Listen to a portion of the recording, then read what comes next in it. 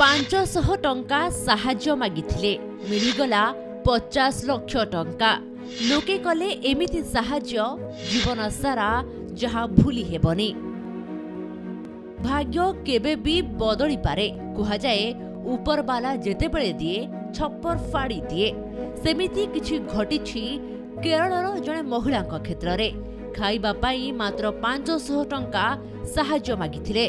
ବଦଳରେ ତାଙ୍କୁ ମିଳିଯାଇଛି ପଚାଶ ଲକ୍ଷ ଟଙ୍କା। ଏହି ସାହାଯ୍ୟ ମହିଳାଙ୍କୁ ସୋସିଆଲ ମିଡିଆରେ କ୍ରାଉଡ ଫଣ୍ଡିଂ ଜରିଆରେ ମିଳିଛି। ଏମିତି କିଛି ଘଟିଛି କେରଳର ସୁଭଦ୍ରାଙ୍କ କ୍ଷେତ୍ରରେ।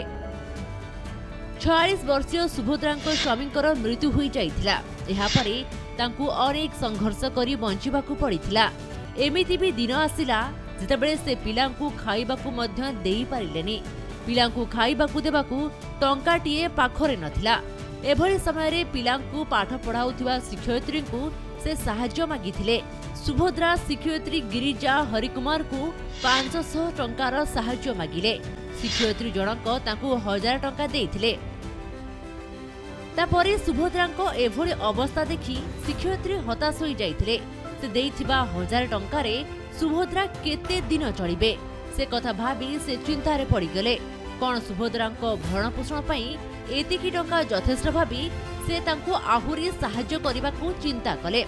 ତୁରନ୍ତ ସୋସିଆଲ ମିଡିଆରେ ଏକ କ୍ରାଉଡ ଫଣ୍ଡିଂ ଅଭିଯାନ ଆରମ୍ଭ କଲେ।